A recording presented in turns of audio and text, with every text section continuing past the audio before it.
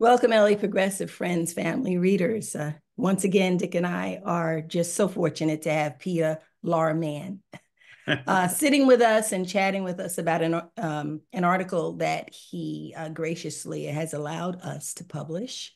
Um, it's in the LA Progressive, and the title of the article is History Doesn't Repeat Itself. Don't be so sure. Peter, how are you this morning? I'm doing great. It's wonderful to see you. Uh, you know that title plays off the the statement misattributed to Mark Twain that history doesn't repeat itself, but it rhymes. Twain never said that. Apparently, it dates back to 1987, not, not 1877. But anyway, it's a it's in people's heads that history can't repeat. And I'm trying to say here, well, not exactly, but uh, elements of history uh, don't seem to go away in the American experience. I think history is destined to repeat itself if we don't learn it. Um, so it does not repeat itself to the T, not exactly, but it's bound to come back if we don't learn the lessons of history. And I so appreciate this piece for that reason. So, so the history you you say is repeating is what happened uh, right after Reconstruction, was when the white elites use various tools uh, to undercut any advances of Reconstruction, to to fight back uh, any any chance of an interracial society. Uh, tell us about those times. Yeah, uh, in the strictest sense, radical Reconstruction, which was really a new founding moment for the United States, based on interracial democracy, full participation of everybody equality for everybody before the law, uh, really had about a 10 year run if you started from after the conclusion of the of the hostilities. Um, you know, the the the so-called Freedmen's Bureau uh, didn't really get up and running for a while. It was unbelievably successful. The educational efforts were unbelievably successful.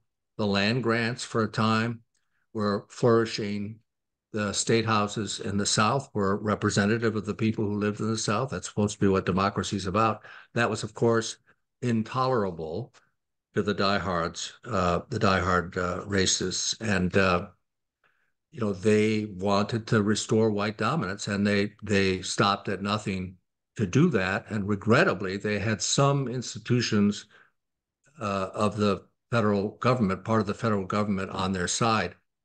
Uh, notably by the 1870s and into the 1880s, the Supreme Court of the United States uh, disallowed so much of the uh, of the uh, Reconstruction uh, acts, and then the the uh, betrayal of Andrew Johnson, uh, which was horrendous, and then of course you know Grant, you know Grant went the distance for a while uh, he did send in troops all over the place, uh, uh, and the and the radical abolitionists were still hammering away. So you know, uh, in the Congress, Sumner and uh, Thaddeus Stevens were still pushing, pushing.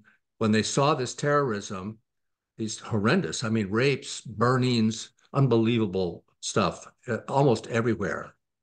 they said this requires decisive action, and Grant gave them decisive action until finally it, it began to peter out because the two segments, two sections of the United States, North and South, were uniting over what? Over greed, over over the you know uh, uh, railroads and uh, mining and uh, you know rebuilding capitalism and all the money to be made and was made in the Gilded Age.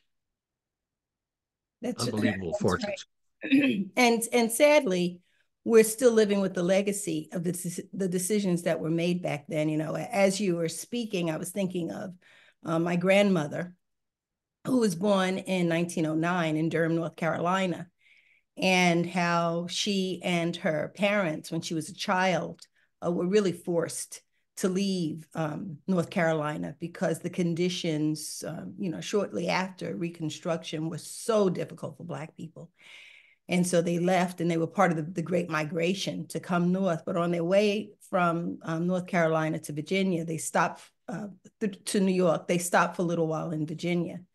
And um, my grandmother had a little brother who I later learned recently, like in the past five years, I later learned through doing ancestry research that he starved to death. He was oh three God. years old. And, oh my God. And my grandmother was pretty close to starvation as well. She lost the ability to walk at five years old. And um, these are stories that I knew about growing up, but I didn't know um, about the the horrors of post uh, Reconstruction. I, I didn't know because my grandmother, a lot of Black people just didn't share that information with their children.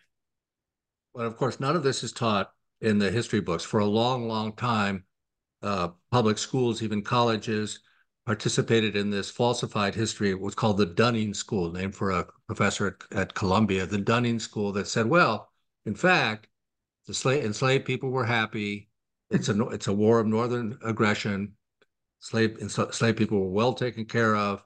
Uh, this is basically uh, a uh, you know a northern uh, intrusion in a settled, highly civilized way of life, uh, and you know it's in the 20th century. We know this. It's in the 20th century that the daughters of the Confederate Confederacy and groups like that put up all these monuments to the to the uh, Robert E. Lee types, Stonewall Jackson types. They put, you know, stained glass windows in the National Cathedral. This is all part of this reconciliation project of, well, there's nothing to see here.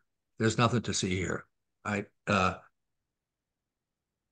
in this little short article of mine, I'm I'm trying to particularly wrestle with this question of so where is corporate power in this? And I make the case that some people would vehemently disagree with that capitalism is very, very content with uh, uh, stifling democracy and stifling free expression. This idea that that uh, is again part of the uh, free market ideation that that uh, capitalism is always on the side of democracy, always on the side of free expression, is demonstrably false.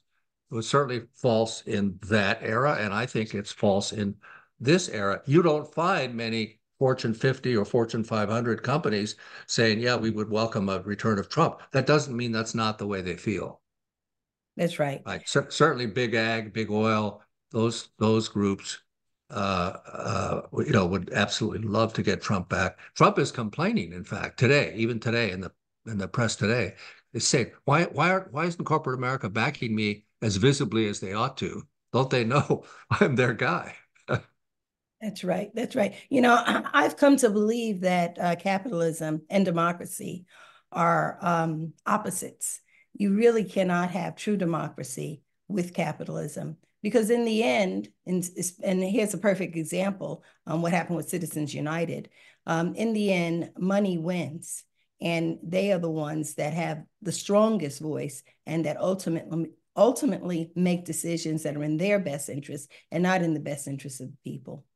So this this this conversation again brings me back to what we like to talk about the Powell memo, the famous memo written that that that each of the pieces, you know, take over academia, take over local government, uh, media, media, put up uh, various kinds of institution. Each of those pieces was anti-democratic. The idea was to retain the power in the elite and and and what's happening to me is a, a, flowering of that that succeeded so marvelously and now it's over succeeding now we're now we're it seems like we're on the verge of unraveling our democracy right uh, lewis powell wrote that memorandum in i believe 1971 and, and if you if you can think back that far they were seriously worried about the the power of the anti-war movement, also, but also at that point the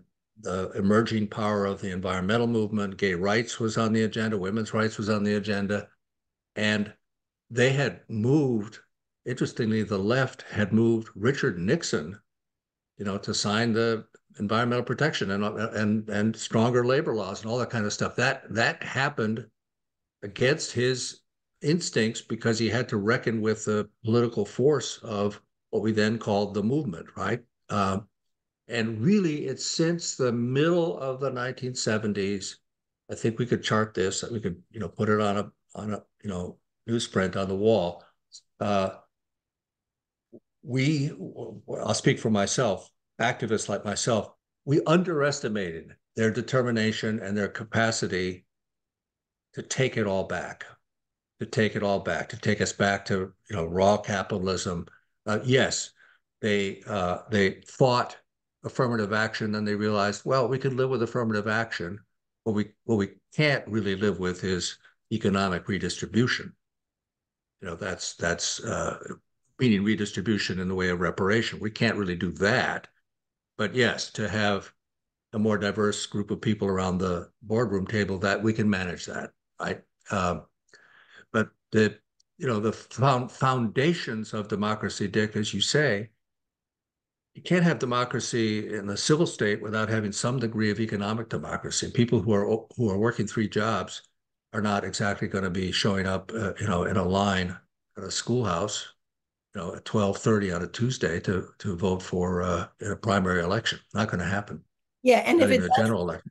and if it does happen, they will for sure be uninformed. Partly because they just don't have the time that it takes to understand the issues and know where the, the positions that the candidates have taken. If you're working, if, if, if you're working more than 50 hours a week, you can't do much more than eat, sleep, and go to work. Yeah. The other thing I touch on a little bit, and uh, and again, it's not a perfect uh, parallel today, but it's it's again quite quite close. Is the deployment of hardcore religion uh, uh, among uh, white people as an identity badge uh, and as a uh, how to put this a license to dominate others, even a license to be uh, violent toward uh, others. People forget, you know, that the original Klan, those those robes that they wore had crosses on them. That's not, you know, an accident. They were not just standing up for whiteness; they were standing up for you know, they were they were putting this uh, terrorism in terms of redemption of what's sacred in this country, namely whiteness and Christianity fused together. Uh, and and now with our, you know, uh, lunatic religious fringe, which is not even a fringe, it's gigantic, right? This new apostolic reformation talking about Trump being anointed, the visibility of Christian symbols at uh, January 6th, all that kind of stuff. They're they're going for it. They're going for it. This is like, uh, well, you know, the final battle. That's their language. You know, yeah, another another parallel you draw is to to the use of the judiciary, which is especially appropriate this week.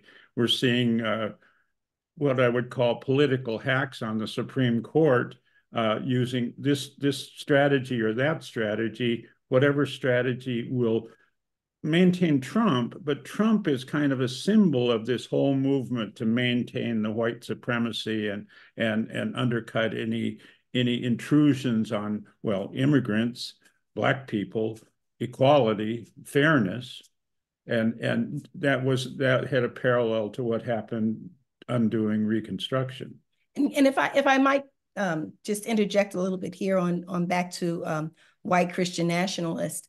I read um, Frederick Douglass's autobiography, which is free. Anybody can download it, read it, because uh, it's part of the public domain now. And he talked about when he was enslaved. He said the worst, most brutal, most cruel enslavers were those who touted Christianity as being their driving force. And that's what gave them the legitimate reason to be enslavers. So it's it's right, you know, when you talk about uh, history and not learning your history, you're destined to repeat it. We see the same kind of white Christian nationalists that Frederick Douglass uh, spoke so vehemently against. Right. And by people, the way, he, get... didn't, he didn't speak against Christianity. He spoke against this type, this strain of white Christian nationalists. Yes, and it must be said that Douglass, also Garrison, uh, and this comes through in this in this wonderful uh, book that I was kind of talking about the the uh, uh rise and fall of the Second Republic. Second Republic. Uh, Douglass lived a very long life. So did uh, Garrison, and they were and Sumner. they were outspoken. They saw clearly what was happening. and she, uh, Manisha Sinha, does a marvelous job of you know bringing forward those quotes and so forth. Also, I, I say at one point, I think everybody knows this. There was a brief time when some of the early suffragists, namely uh, Susan B. Anthony and uh, Elizabeth Cady Stanton, were you might say on the wrong side of history because they objected so much to, uh, as Stanton put it, Sambo having the vote when I don't, I, an educated Boston lady, does not have the vote. Uh, they kind of went off the deep end. But what's forgotten there is that Lucy Stone and many others said to to Anthony and uh, Stanton, "You're wrong. You're wrong. You, you know, we we we we took a stand for Black liberation. We're going to stick with it. We'll get there." you know, but we're not gonna. We're, it's not a question of picking favorites. And this is, I think, uh, Lucy Stone said, this is the black man's hour to be enfranchised. Uh, uh, but yeah, uh, you know, and Dick, if I can go back to this judiciary thing, you know, in an earlier chat with you, I misstated something. It's been it's been giving me a hard time because I can't stand to be inaccurate. It was the it was in 1886 that the Supreme Court turned. I, earlier it said 1883. That's wrong. They undid the Civil Rights Act of 1875 and 1883, but they didn't un, really undo the 14th Amendment until 1886 in this railroad case, uh, Santa Clara County case, where they said, hey, this railroad corporation has all the rights of a citizen under the 14th Amendment. This, of course, is the same time when they're completely removing 14th Amendment protections for Black people for whom it was intended. Um, but they did much more than that. They were, you know, they they were consistently uh, bad. And I have to say, in terms of this Supreme Court, how is it that Clarence Thomas can hear this case when Virginia Thomas is a, a, known insurrectionist? You know, I mean, she was all over that thing. How can he possibly do that? I mean, that's how bad really it is. It's it'd be funny if it wasn't yeah. You know, hor- hor- horrible, just horrible. So we want the readers of the LA Progressive to know the reason we're having this conversation is because the piece that you wrote and the book that you read, um, you held it up, uh, Peter. Um, this book, we want to recommend that the audience read this book. Um, one of the problems, one of the, in my opinion, the root of the problems that we experience in the United States, we just don't understand history. And like I say, we're destined to repeat it if we don't understand it. Well, there's there's another really wonderful thing she does, which is she says that the liber, liberatory energies of the Reconstruction movement actually arced through, lasted all the way really into the 1920s to some extent. So did the reaction, but the you know the flame never went out. Uh, and the flame has not gone out in our time, which is why we we live in hope and we we lean into hope that people, enough people, understand the stakes here, understand that this is not. Uh, we can't treat this as though it's not happening to us. There's this odd, really, really odd detachment, which uh, drives me completely berserk among fairly affluent white liberals, I'm just going to say it, white liberals who are like, well, it's all going to, it's all going to work out. You know, it's all going to work out. Joe's going to, you know, get some lucky breaks. Trump's going to screw up and, you know, a happy ending. What if it's not? Can we afford to, to be wrong? You know, it's just it it it's it's it's it's just nuts. I don't know what I'm going to do, but I may be knocking on doors in Wisconsin, my home state, um, uh, you know, trying to stir up some enthusiasm. I was very happy as somebody who worked for the United Auto Workers in a former life, very happy to see Shawn Fain land that contract in, in a, a big contract in North Carolina with uh, Daimler truck and bus uh, workers. A one a, a an immediate raise of 16%, an overall raise of 25%. That's going to, you know, other workers in the South are going to say, hey, why am I working for 20 bucks? This guy, these guys are working for 35 bucks or more, not to mention pensions and time off and all those things that come with a, with a, a, a union. The Washington Post is wondering today whether Fain uh, can deliver some of these swing state, crucial swing states for uh, Biden. I don't, nobody can answer that question. Nobody can answer that question. Nobody, nobody knows how many union workers will in, in the end say, hey, this guy's our guy and uh, go for him. I don't, I really don't know. And again, the problem is that only 10% of the workforce is union. Yeah. Grand, you know, grand total. Yeah. Well, it's all going to change. It's all yeah. going to change, but it's taking time. This has been absolutely wonderful as always, Peter.